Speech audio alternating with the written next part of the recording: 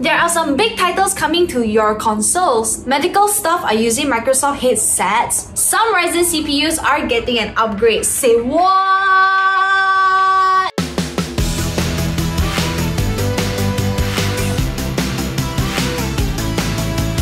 Hello, welcome to MLM Monday Logins with Michelle. While some of us are excited about AMD's Zen 3 Ryzen 4000 desktop CPUs that are coming out later this year, it seems like AMD isn't quite done with Zen 2 yet. Recently, many reports have been pointing towards a potential light refresh of three desktop Zen 2 CPUs. The Ryzen 5 3600X, Ryzen 7 3800X, and the Ryzen 9 3900X. Up till now, these were just leaks and reports from sources within the industry. But now, CPU database website CPU Monkey has found alleged benchmarks of these refreshed CPUs, named the Ryzen 5 3600 XT, Ryzen 7 3800 XT, and Ryzen 9 3900 XT. By the way, these names are not official and may not be the final names. All three of the alleged new CPUs have shown around 200 to 300 MHz clock speed increase across the board. But CPU Monkey did mention that these benchmarks and specs came from a pre-production sample. So they might not be final after all. Then how are we gonna take in all this news war? Well,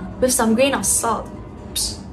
As for the benchmarks, the Ryzen 9 3900 XT is shown to have a score of 542 in Cinebench R20 single core, beating the i9 10900K score of 539. Is AMD finally matching Intel on single core speeds? I cannot wait to see the gaming benchmarks comparing these two CPUs. It is unclear why AMD is refreshing some of their Zen 2 chips when Zen 3 is right around the corner. But if the benchmarks are true, is AMD simply marinating Intel before roasting them with their Zen 3's release?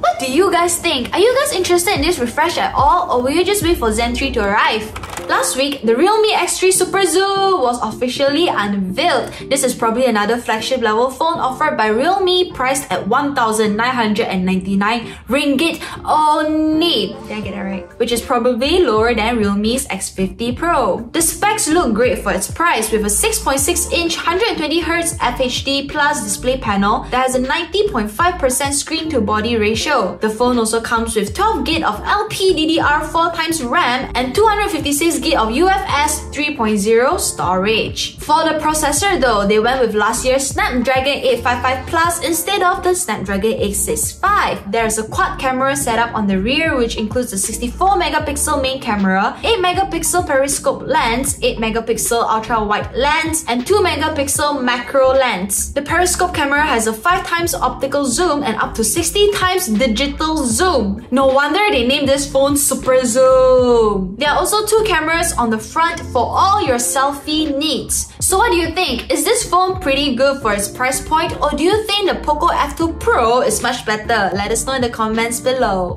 Sony launched a new wireless noise cancelling Bluetooth headset on April 1st and one of it finally arrived in Malaysia.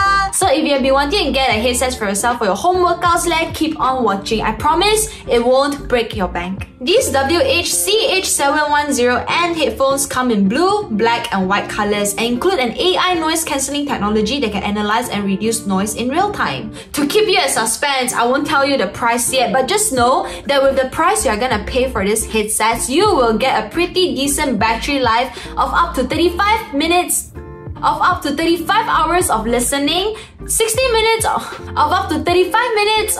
Oh my god, I'm so 35 hours of listening and 60 minutes of payback with just 10 minutes of charging. 10 minutes! Based on a lot of research done by yours truly, as long as you don't compare them to Bose Noise Cancelling Headphones 700 or Sony's WH-1000X-M3, which by the way cost a lot more. These WH-CH710N headphones are pretty awesome for users in the market for budget-friendly ANC, active noise control headphones like me. Based on PC Mag review, the audio performance on these headsets features deep bass, crisp high, and also sometimes can feel a bit too sculpted lah. These headphones are in store in KLCC or The Curve, or better yet, just stay at home and buy on Lazada for 699 ringgit. It is definitely a hashtag cheap buy, but I wouldn't mind if Sony sponsors me too. So like, hello Sony.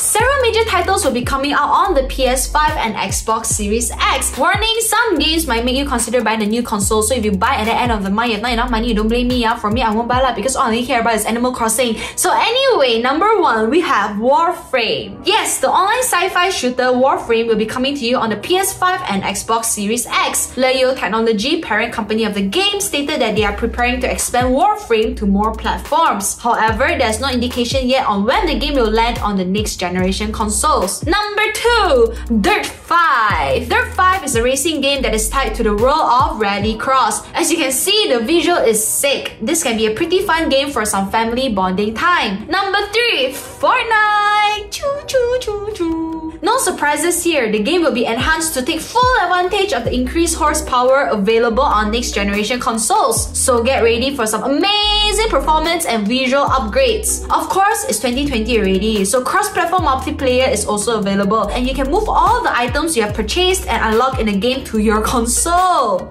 Other games also include Assassin's Creed Valhalla, Battlefield 6, Watch Dogs Legion, and Cyberpunk 2077. Which games are you planning to get your hands on? Let me know in the comments below.